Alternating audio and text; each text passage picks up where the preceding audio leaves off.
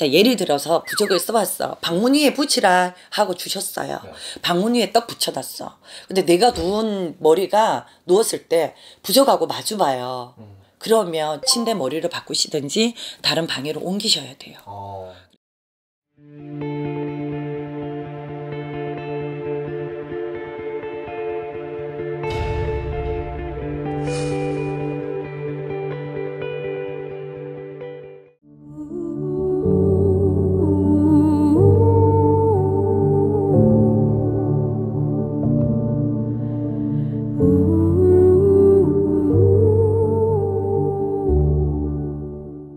안녕하세요. 나라 대신공 나라 명주신당입니다. 반갑습니다.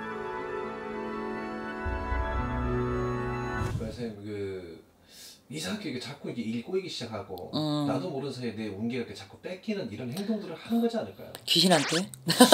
사람한테? 어, 음, 그렇죠.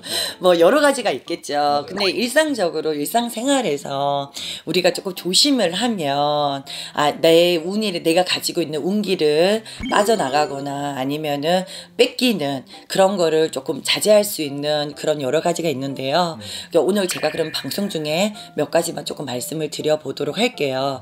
우리가 사람이 어, 숙면만큼 좋은 게 없어요. 어쩌면 내가 자는 방에 아니면 내가 자는 곳에 이런 것들이 있어서 내가 더 피곤하고 자고 일어났을 때 몸이 개운치가 않고 어. 몸이 층건 만건 같은 그런 느낌을 받으실 수 있을 거라고 생각을 해요. 음.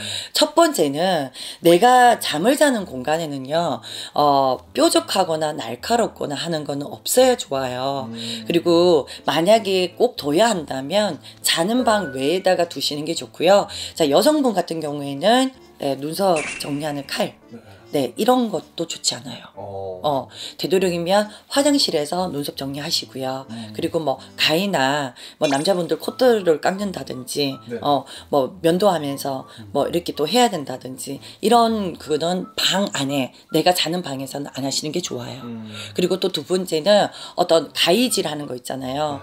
뭐 예를 들어 뜨개질을 한다든지 미싱을 한다든지 뾰족하죠. 그쵸. 자, 이런 것들은 자는 방에는 두지 않는 것이 좋습니다. 음. 내가 자는 방 기준으로 봤을 때 내가 누웠을 때 인덕션이나 가스레인지나 어떤 화 불하고 가까운 네. 예, 뜨거운 어떤 기운이 느껴지는 거는 예, 안 보이시게끔 하시는 게 제일 좋아요. 음.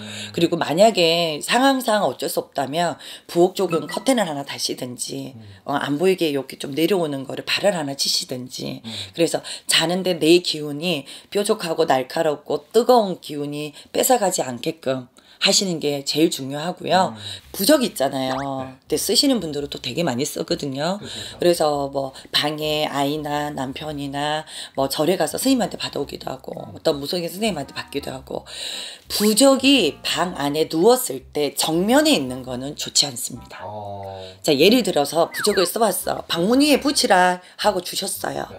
방문 위에 떡 붙여놨어. 근데 내가 누운 머리가 누웠을 때 부적하고 마주봐요. 음. 그러면 침대 머리를 바꾸시든지 다른 방으로 옮기셔야 돼요. 어. 마지막으로 잠을 자는 방만큼은 조화가 없는 것이 좋습니다. 시들지는 않지만 인위적으로 만든 거다 보니 살아있는 생명의 기운을 가져갈 수가 있어요.